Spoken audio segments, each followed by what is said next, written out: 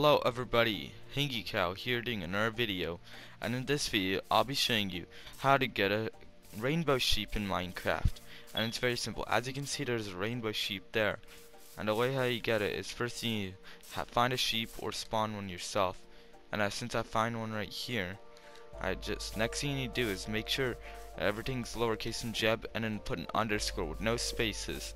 And make sure it's on the name tag though. And just name it and boom it's turned into a colorful sheep. And keep in mind that you know the sheep is actually a rainbow sheep. It, still the wool that you get from it will be the wool that you had dyed it previously.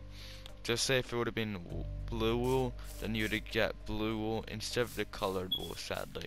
This is just a trick you can do and there's an, another similar trick that I'll be hanging in another video soon. But this is the end of the video here guys. Be sure to leave a like share it if you liked it, and subscribe if you're new around here, because I make videos like this once a week on my channel, and new CDs weekly on your homepage. Thank you all very much for watching, and hopefully I'll see you guys in the next one. Peace out.